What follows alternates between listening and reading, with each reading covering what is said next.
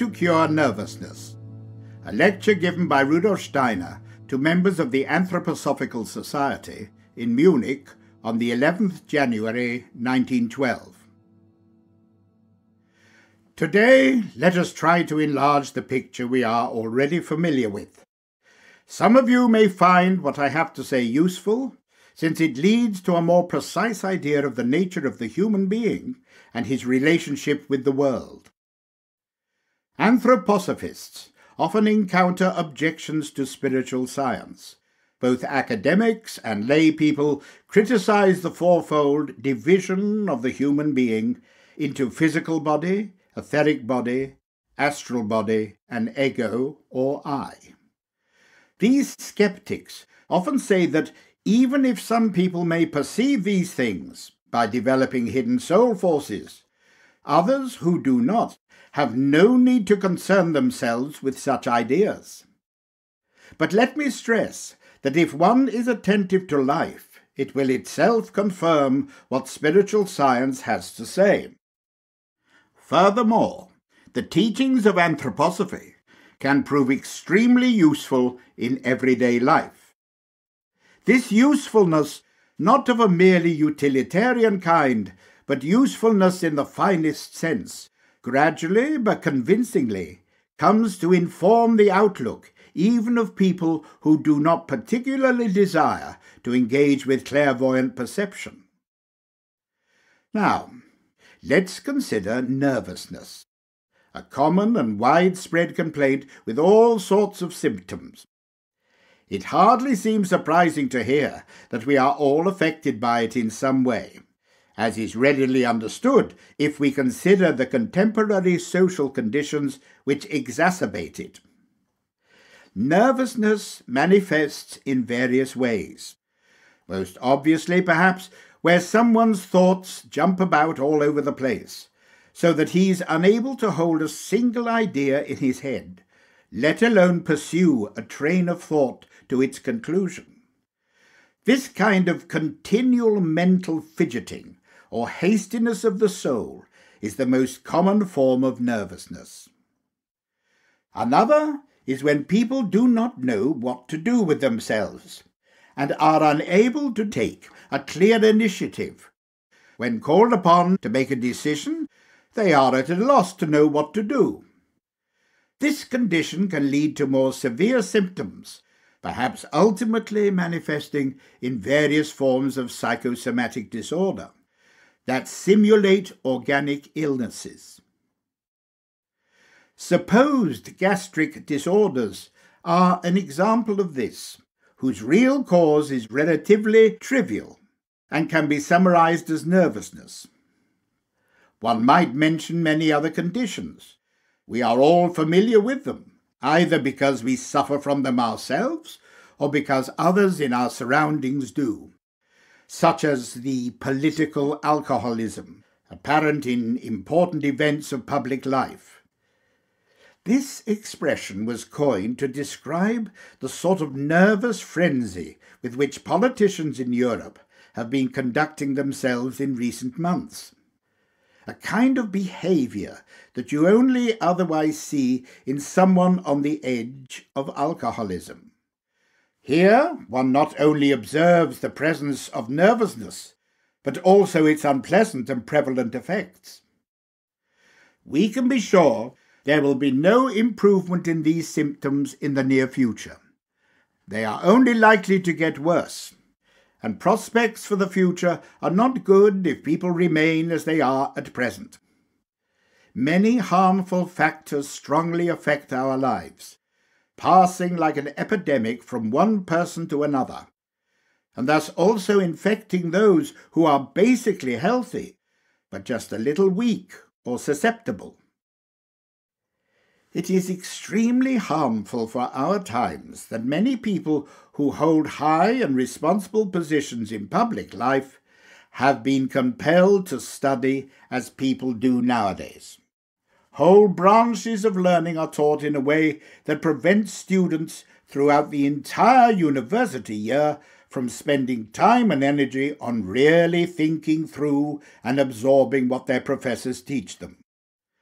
As a result, when exams come round, they have to cram for them. This cramming, though, has dire effects, also on school pupils to some extent, because it allows the soul no real means to properly connect with the subject matter. No wonder the students are often keen to forget as quickly as possible what they have just had to learn. Thus, the core of the human soul is only very tenuously connected with what has to be learned. What impact do these educational methods have? In some respects, no doubt, people are getting the training they need to engage in public life. But the schooling they receive means that they do not unite inwardly with their work. They feel emotionally remote from what their heads are doing.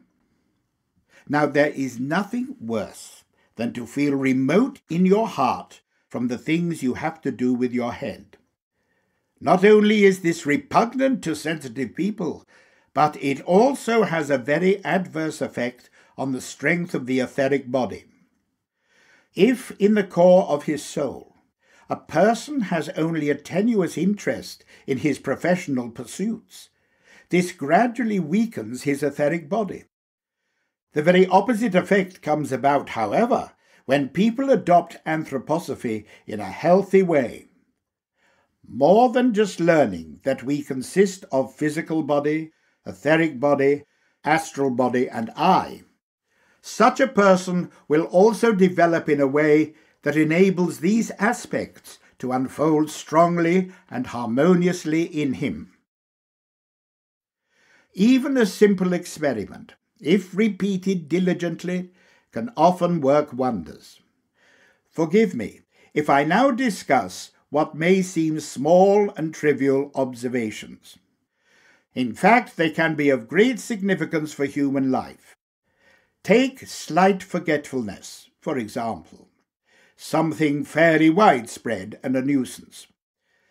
Anthroposophy tells us, in fact, that it is harmful to health, and that, strange as it may seem, many disorders bordering on severe illness could be avoided if people managed to be less forgetful. Now, you may say, well, that's just how people are. Nothing to be done about it. No one is exempt. Everyone is forgetful to some degree. Just think of the numerous instances when people forget where they left something. One person keeps losing his pencil, another cannot find his cufflinks, etc. All these incidents seem trivial, but they occur pretty frequently in daily life. There is actually a good exercise for gradually curing such forgetfulness. Suppose that a woman repeatedly forgets in the morning where she put her brooch when she took it off the night before. You might think that the best cure for such forgetfulness would be for her to remember to put it in the same place each time. But there is a far more effective means of remembering where it is.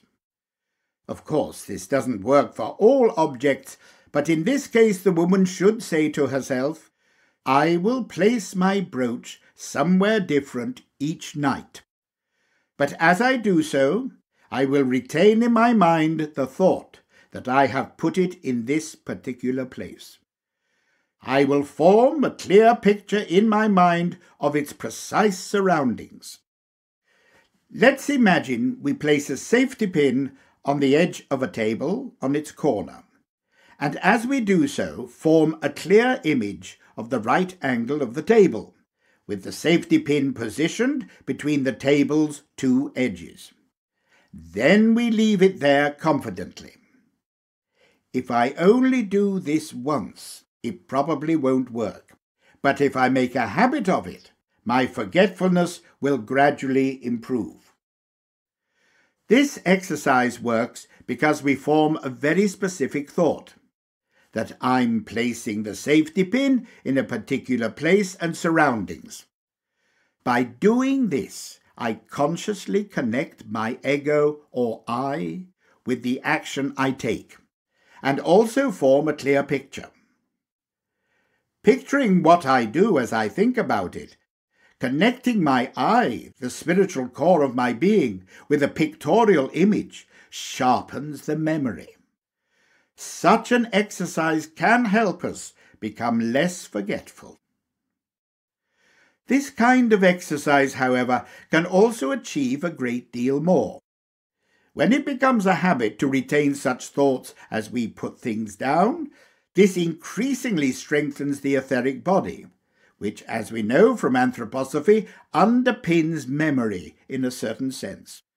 If we do something that strengthens our powers of memory, it is easy to understand that this is also of use to our etheric or life body. But now assume that you have advised someone to practice this exercise, not because he is forgetful, but because he is nervous. It will prove an excellent cure that not only improves his memory, but also strengthens his etheric body. His nervous tendencies will gradually disappear. In such cases, life itself shows the correctness of what spiritual science teaches.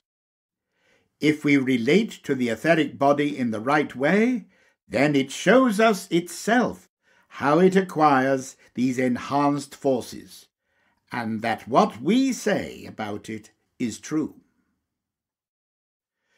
Here is another example that might also appear trivial at first glance, but is actually extraordinarily important.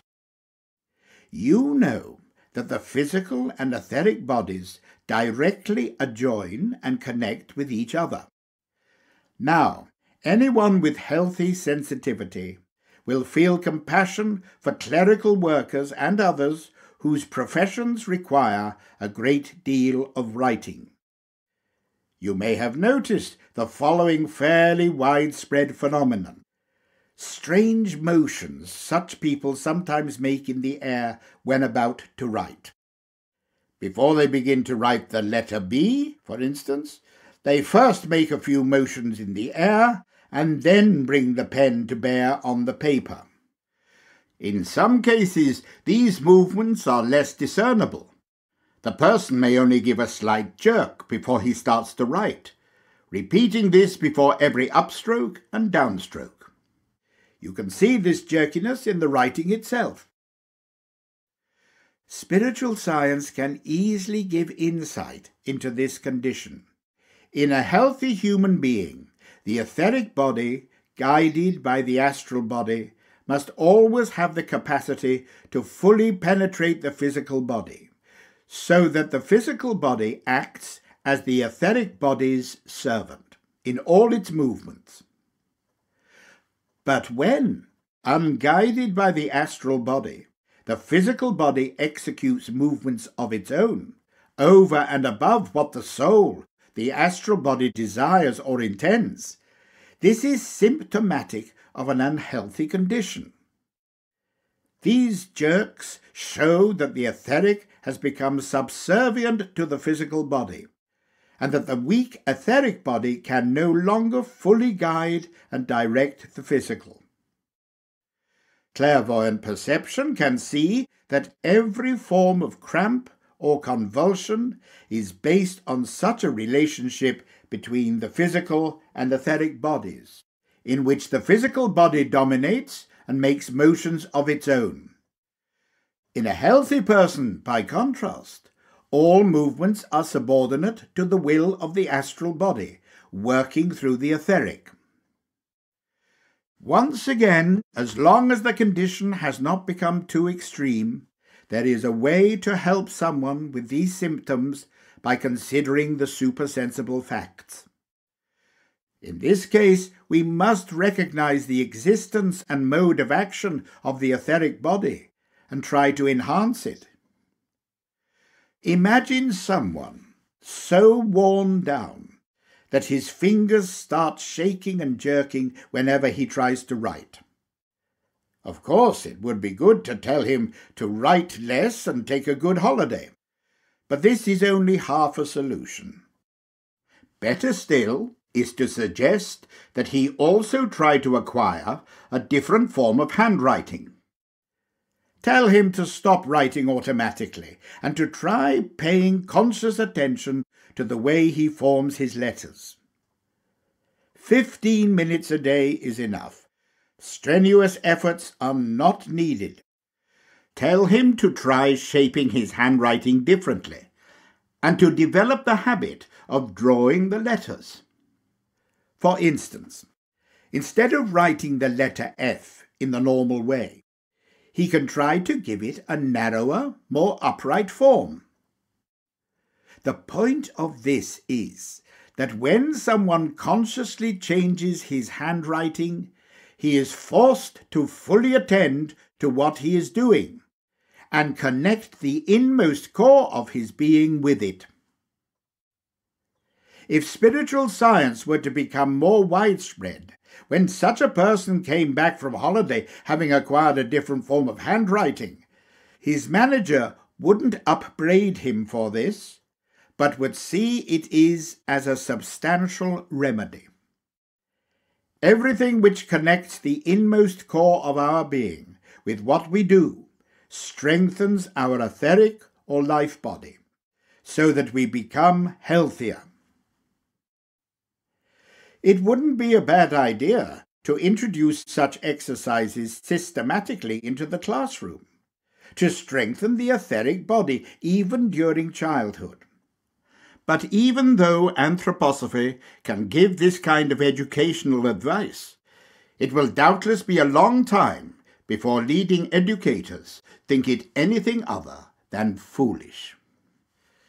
Nevertheless, Suppose that children were first taught a particular form of handwriting, and then, after a few years, were expected to learn an entirely different way of forming their script. The change and the conscious attention involved in this would lead to a remarkable strengthening of the etheric body. And some of the nervous conditions we see today would never arise. So you see, things can be done to strengthen the etheric body. This is immensely important because nowadays it is precisely the weakness of the etheric body that leads to many unhealthy conditions. One can even say, and this really isn't going too far, that certain forms of illness and disorder rooted in causes that fail to respond to treatment, would take a quite different course if the etheric body was stronger. Weakened etheric bodies really are a typical characteristic of modern human beings. What I have suggested here is a definite way of working on the etheric body. By practicing these exercises, a real force can be brought to bear on the etheric body, which could not be brought to bear if the existence of this body is denied. When the effects of such actions become apparent, though, the results themselves demonstrate that the etheric body exists. Life itself everywhere confirms the insights of anthroposophy.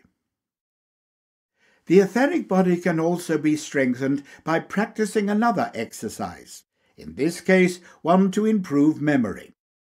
In all forms of disorder in which nervousness plays a part, one should take up such suggestions. Thinking through events, not just in the sequence they occurred, but also in reverse, that is, by starting at the end of an event and thinking back through it to the beginning, helps enormously to strengthen the etheric body. Historical events, for instance, which are usually learned in chronological sequence, can be traced in reverse.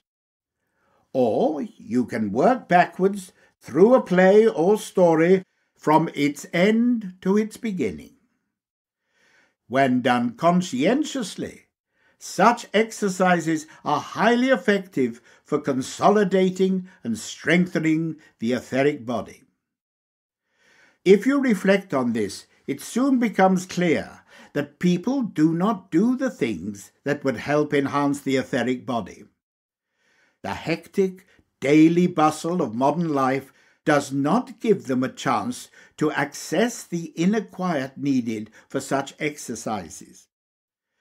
In the evening, after their day's work, they are usually too tired to bother with these things.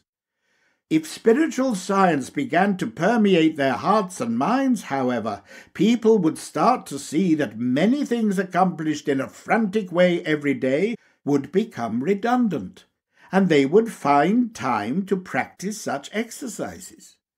They would also become aware of the potentially positive results of placing emphasis on such things in school curricula. Let me mention another little exercise here. If not cultivated from early youth, it may not be quite so useful in later life, but it is still helpful to practice it later on. This is to look carefully at whatever we do, whether or not it has any lasting importance. This is comparatively easy when writing. And if many people really looked carefully at each letter, one by one, allowing the gaze to pass again over what has been written, they would, I am sure, soon improve their dire handwriting. Yet another exercise involves a person observing himself closely, the way he walks, moves his head, laughs, etc. In short, he should try to form a clear image of his own movements and gestures. Few people actually know, for instance, what they look like when they are walking. Though it is good to undertake this as an experiment, it should not be prolonged as it would quickly lead to vanity.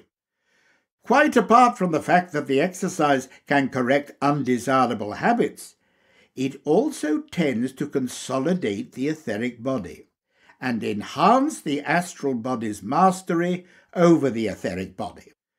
When someone cultivates awareness of his gestures and involuntary actions, when he forms a conception of his actions, the astral is given ever increasing control over the etheric. People are actually less and less able nowadays to voluntarily suppress in themselves habitual actions or to do things differently. To be able to do quite differently the things we do habitually is an excellent accomplishment. Nowadays, people only alter their handwriting for illegal purposes. Well, I am not proposing to train forgers when I suggest that changing one's handwriting will help to consolidate the etheric body.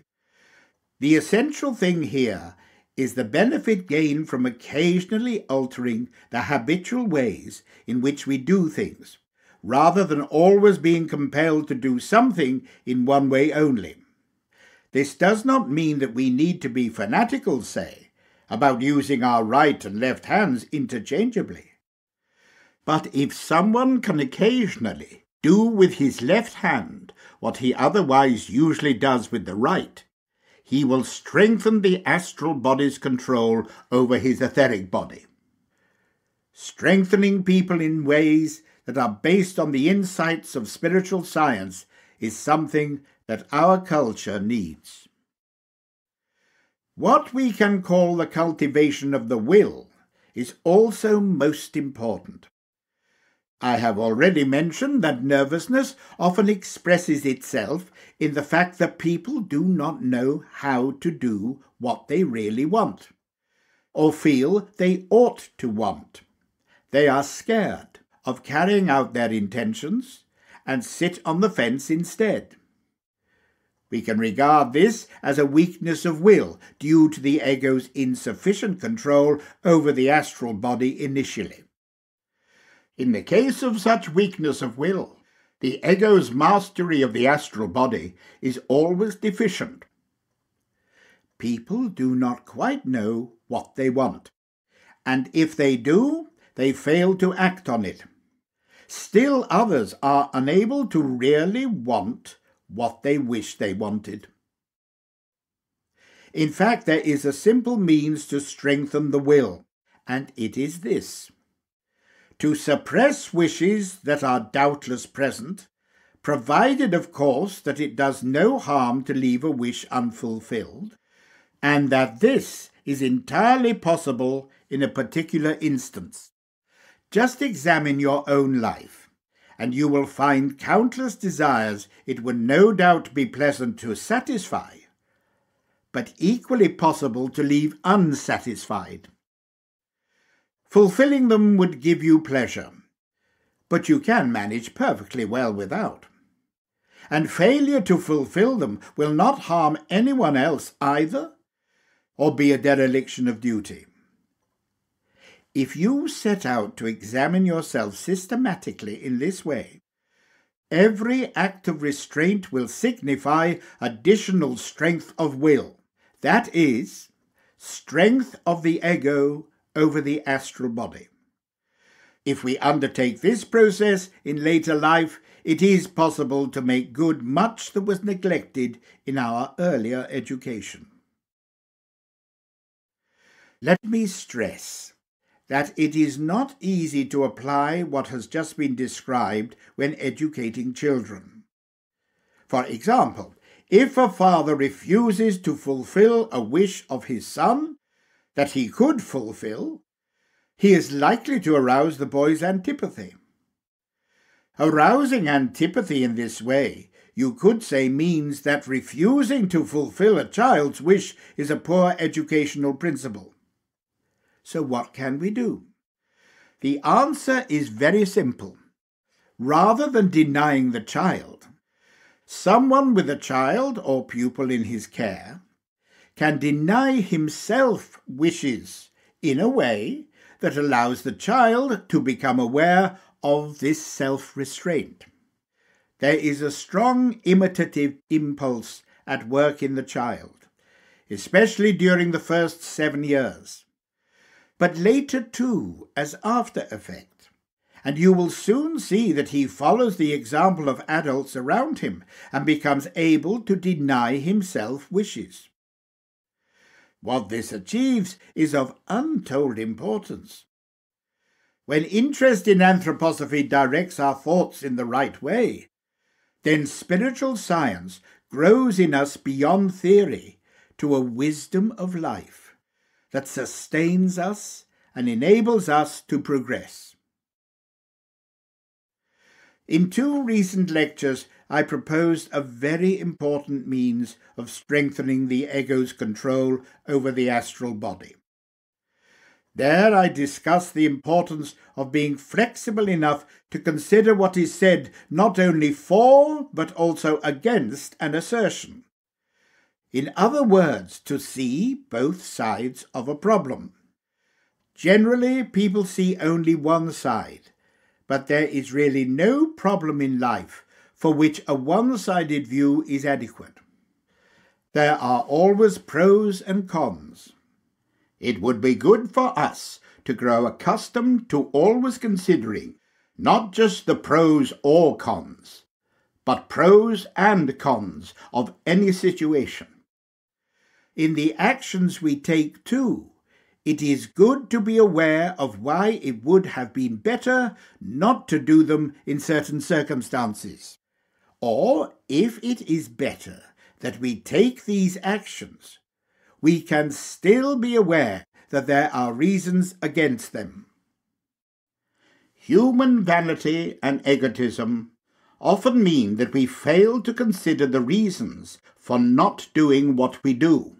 In fact, people's desire just to be good often persuades them that they simply need to do what so many favourable reasons seem to suggest is right, and disregard the things which so many reasons seem to discount. But we have to realize the uncomfortable fact that many possible objections exist to practically everything we do. People are not nearly as good as they think. And I say this because it is enormously important in life. This is such a general truth as to be of little use, but it can come to be an effective truth if, in everything we do, because life demands it, we also consider why we might leave it undone. Let me give an example to show the practical results that can be achieved by such means. You have probably encountered people so weak willed that they would prefer never to have to make a decision for themselves. They would like it best if someone else made their decisions for them, leaving them just to carry out what has been decided. Trying to avoid responsibility, they prefer to sit around asking what they should do rather than finding reasons to act. What I am now going to say must also be regarded as having many cons as well as pros. Imagine that a weak willed person like this is influenced by two others, one of whom says, Do this, and the other who says, Don't. The one whose will exerts the stronger influence on the weak willed person will prevail. What sort of phenomenon do we have here? It may seem of little importance, but is in fact highly significant. If there are two people, one of whom says yes and the other no, and I carry out the first person's yes, then his will works on in me. His strength of will has prevailed and has led to my action. His strength of will has prevailed in me over the other person. In other words, another person's strength has triumphed in me. In contrast to this, however, suppose that I stand alone and quite independently face in my own heart the need to make a yes or no decision. Then, having answered yes with no one else influencing me, Imagine that I go out and do whatever must be done. This, yes, will have released a strong force.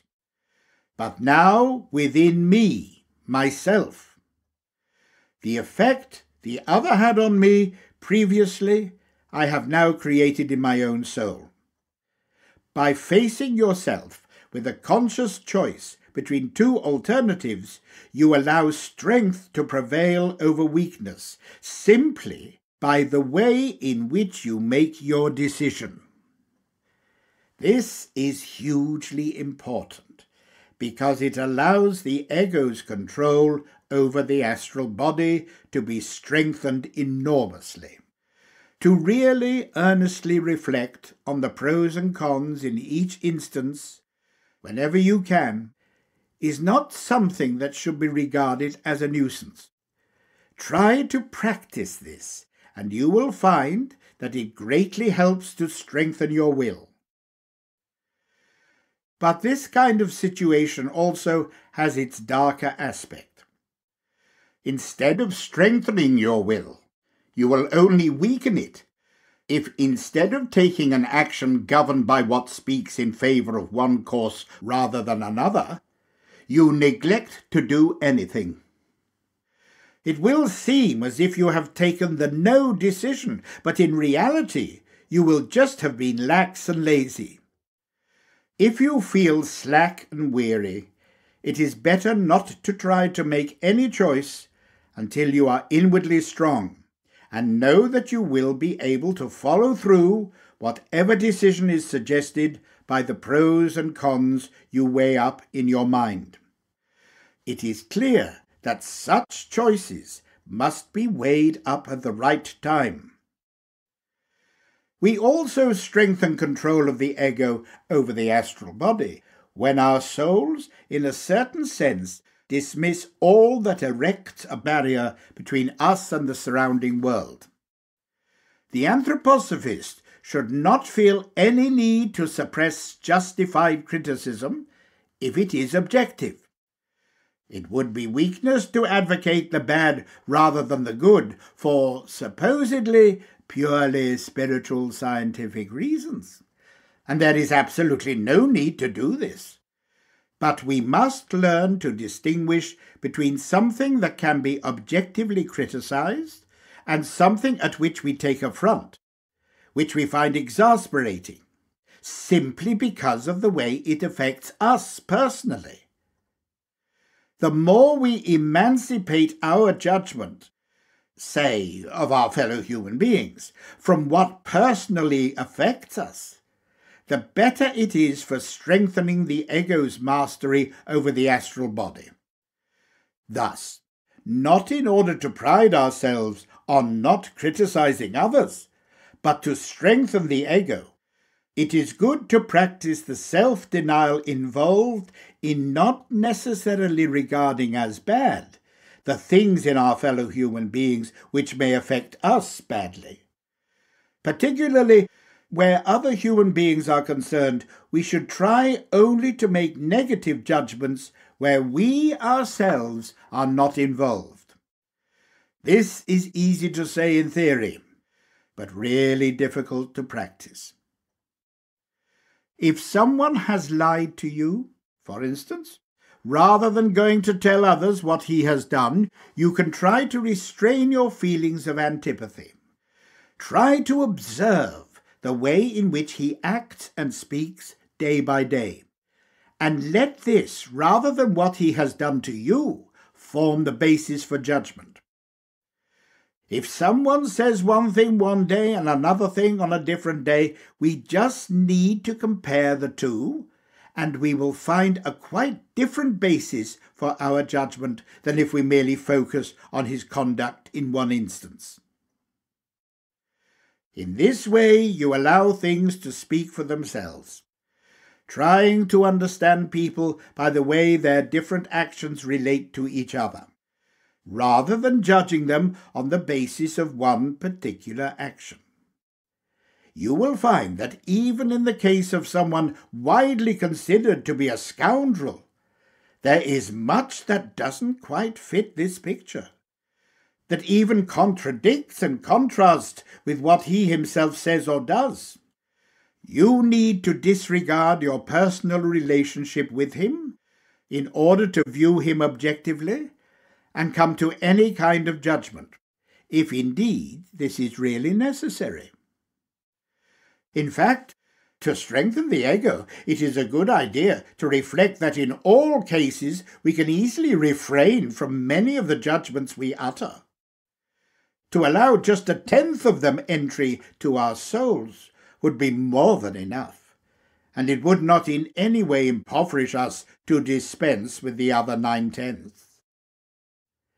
The issues I have presented here may seem like small details, but now and then we should also consider the small things in life, which have great significance and effect. Then we discover how differently we need to grasp hold of life in order to lead purposeful, healthy lives. It is not always right to send someone to the chemist for medicine when he's ill. Instead, we should organize our lives in a way that renders us less susceptible to illness or alleviates its impact. Disorders will impinge on us less severely if we strengthen the ego's influence on the astral body, the astral body's influence on the etheric, and the etheric on the physical. Fundamental anthroposophical insights can provide the foundations for self education and the education of children.